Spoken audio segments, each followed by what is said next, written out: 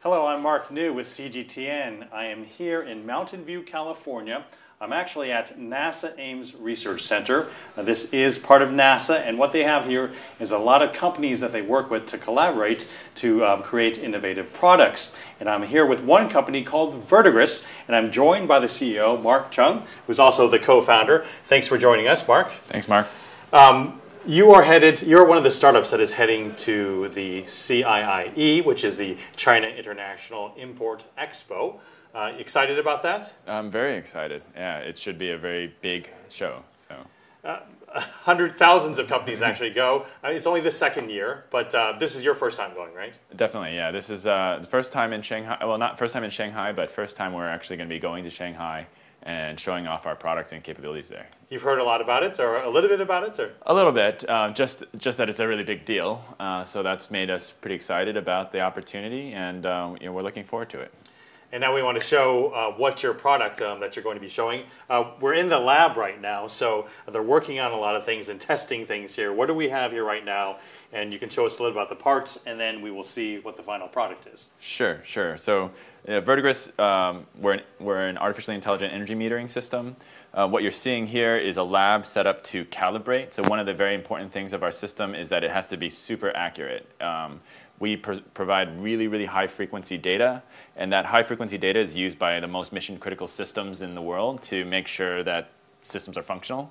So what you see here is just kind of like this long chain of calibration uh, measured by a very precise, super expensive uh, system. This um, test rig configures and maps all of these to match to this um, golden uh, system here.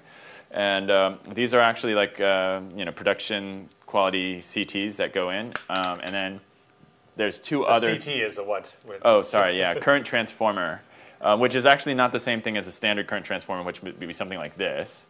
Uh, what we have is something much smaller and lighter, and we've introduced a, a kind of an innovative way of of getting to this size and form factor by cutting magnets in small places and putting air gaps. So that's that's essentially what gives us this really precision instrument. And it all comes together in this package here, right? This is the main, uh, we call it a smart IoT meter, is that right? That's right, that's right. So this is kind of the, uh, the computing central brain and the, um, the, the, communication uh, pieces. So all of these um, smart CTs will go into this meter um, and there's kind of two form factors. You can be in this really small form factor um, or you could be in a much larger form factor.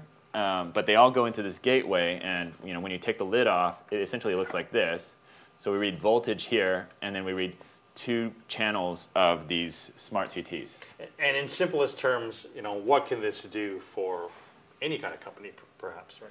Well, in, in the simplest terms, this, the basic functionality of this is to create a, a really precision digital twin of your electrical infrastructure. So if you're thinking about like you know a large fulfillment center or a manufacturing facility, uh, for example, you want to know exactly what your electricity is doing and throughout the entire building.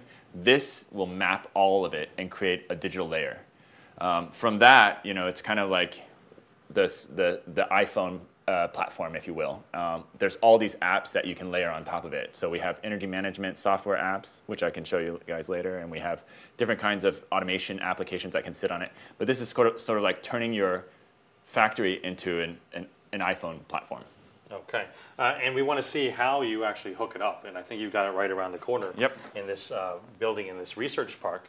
We walk around over here, we can see how it's installed. Yep. And there are other companies that do these sort of things, but mm-hmm. uh, would you gather to say that yours is the form factor smaller, or you know, how, do you, how are you better than those other companies? Yeah, I mean, there's several things that make us really unique compared to our, our competitors. I think when we first started off, um, we were primarily an algorithms company. Uh, but one of the biggest challenges we had on the algorithm side was getting really good data. So when we looked at the marketplace to try and get this, it was really hard to get quality precision data um, and install it super easily. So we just kind of started from scratch, basic principles, and designed this very, very lightweight, non-intrusive sensoring technology, which, um, as you can see here, it just kind of daisy chains together. Um, and, and what that allows us to do is to have a very clean, very easy, quick installation. Typically, this is done in under 30 minutes.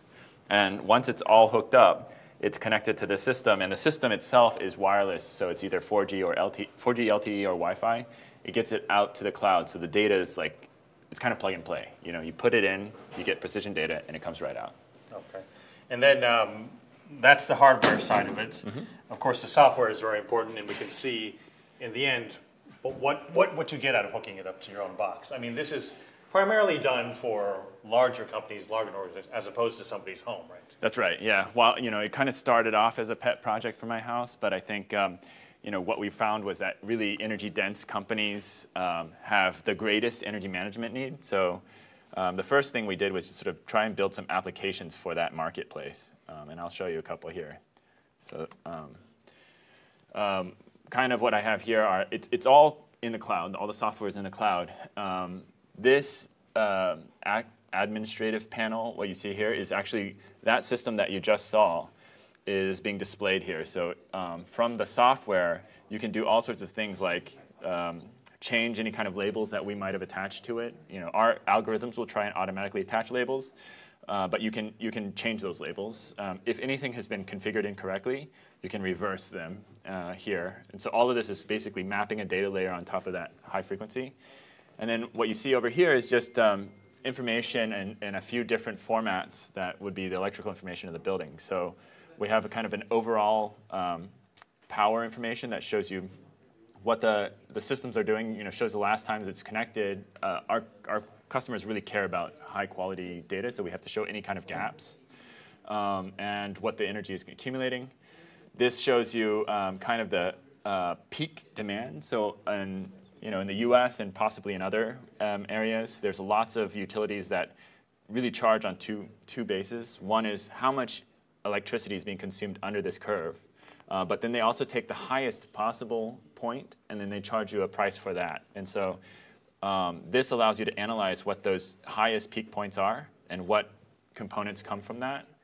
Um, and then this is a, a, portfolio tool that just kind of shows you, like if you have a very large set of buildings and um, kind of spread out all over the world, uh, you can use this tool to kind of analyze and, oops, analyze and benchmark your, you know, how your, your buildings are performing relative to each other.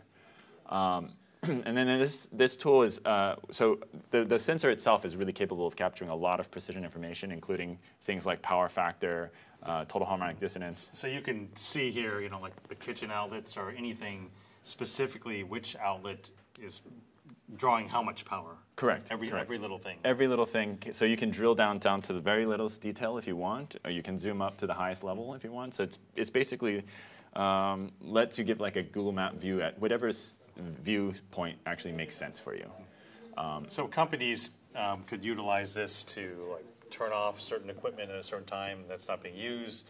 I mean, exactly. potentially save thousands of dollars, right? Or, or hundreds of thousands of dollars even. Yeah. So we've seen we've seen cases like for some of our customers where we found things that were inefficient charging for their you know automated forklifting or their battery robotic systems. Um, you know, simple changes like that lead to millions of dollars for them. Uh, we've instituted things to like control exhaust fans and vents and, and pumping. So a, a lot of things, both reducing carbon footprint and energy. And I guess the next step, you have artificial intelligence. So. Mm -hmm uh, what are you working on to use that artificial intelligence to be able to predict uh, how your energy is being used, or what is AI used? Yeah, AI is used in a lot of different spots. Um, you know, one of the big differentiating components of our system is that that high frequency information that's coming off those sensors. Um, there's something sort of magical about this 8 kilohertz sample rate that we're able to get. Uh, inside that signal, the AI is picking apart that signal and using that signal to learn what type of equipment is in there. So we can automate the entire process of labeling data. That's one component. Um, then we build this time series historical information that lets us predict what's going to happen in the future, which can be very useful if, you know, as energy prices are changing and fluctuating, if you know what your building's going to do in the future, um, all sorts of different interesting strategies like how you shape the peak of your building, how you pre-store some energy into the building. All of those things will make big differences in the cost. And that's where our AI comes in as well. Can you predict power outages? We're working on that, coming out soon. yeah, I know we're experiencing some serious power outages here. Northern California is having one of the largest power outages in the country. so- Yeah, yeah. Um, uh, well, I'll say that we why we can't necessarily predict power outages. One of the things that's really important with a power outage is how do you prioritize power? And one of the things that our AI can do is, in fact, identify the highest priority energy loads that are out there, make sure that energy is getting to those systems, whether it's like kidney dialysis machines or hospital, so that a power outage could inconvenience your, you know, watching Monday Night Football, but it's not going to kill your grandma. So that I think is at least something that we can start to work on. Okay. Do you have any of these IoT smart meters in China being used right now? We do, we do. We have been testing them in a couple of our customers' facilities who are large manufacturers out in China. Um, we have started testing it with partners in China, and, and we are expecting to launch actually at the show with our, our partner in China. So you expect to be in a lot of places in China soon, hopefully Very through. CIIE, making connections there too, right? absolutely, absolutely. Great. Okay. Mark Chung, thank you for joining us. Thank you, Mark. Mark Niu here at NASA Ames Research Center, looking at Verdigris, which sells a smart IoT meter. They're in the early stages, but they're going to be headed to Shanghai soon. Uh, their product can possibly save tens of thousands of dollars, but uh, we will see how their AI uh, turns out to predict things in the future, which is another hot area, smart technology and saving energy. So it's all here at NASA Ames Research Center with Verdigris. Thanks for joining us.